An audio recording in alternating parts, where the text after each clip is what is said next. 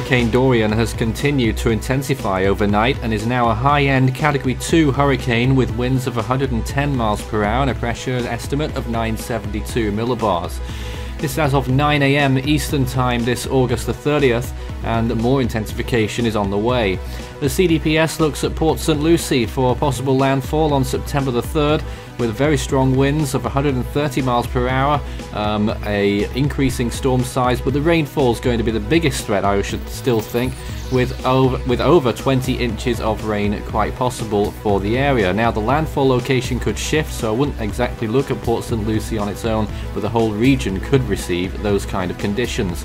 Here it is right now, um, in its location there, just north of uh, the uh, Greater Antilles. It's 474 miles from Nassau, 572 from Freeport, 660 from Miami, 661 from Palm Beach, and 771 from Orlando. So those miles are continuing to tick down. A hurricane watch was issued early this morning for the northwestern Bahamas, um, and that will likely be issued, will, will be upgraded to a warning in about a day or two, and hurricane watches might come into effect for parts of Florida later on today.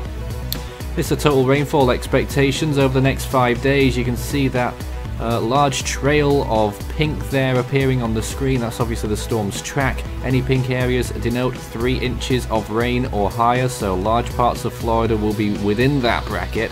Um, and the northernmost Bahamas as well. As I said, 22 inches of rain is quite possible for wherever the landfall zone will end up being. It could be anywhere from Miami all the way north towards the maybe towards Jacksonville, but probably further south. Sea surface temperatures uh, warm, 28 degrees, possibly 29 as it approaches the islands. And here is another look, a depiction from the GFS model showing what's expected.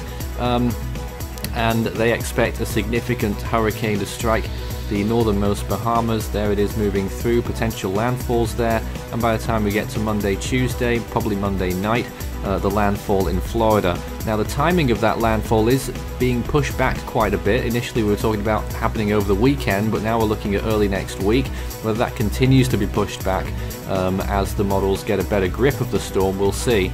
These are the chances of though, tropical storm force winds, 98% at Treasure Cay, 94% at West Palm Beach, 92 at Boca Raton, 88 at Port St. Lucie, and 84% in Miami. So this is getting quite real at this point as the storm continues to intensify.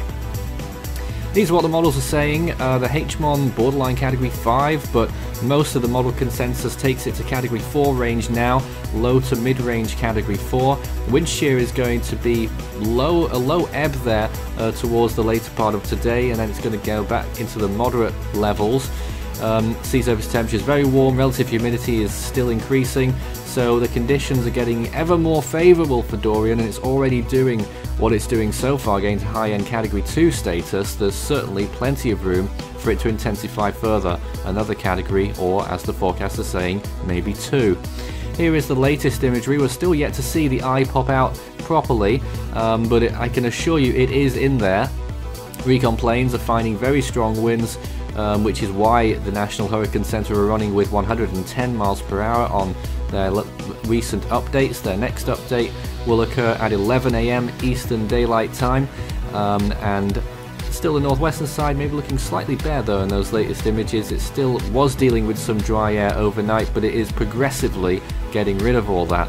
Wind shear is, as I said, going to be lower later today, so we could see maybe an uptick in the intensification phase later on today. I would keep watching very closely and make those preparations as only two or three days before the storm starts to strike the areas.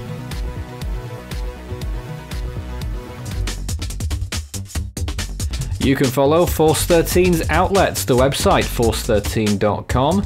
You can also find our YouTube channel if you're not there already, you may well be. Good chance of that. Subscribe if you haven't. You can also find our Facebook page, search Force 13 all in text, and our Twitter handle, it's at Force 13 on there.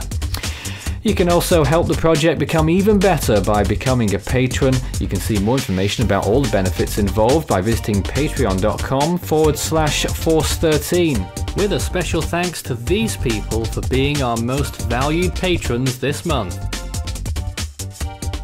You can also check out our growing merch store so you can show Force 13's colours wherever you go. You can also find a link to our Discord server underneath this video in the description.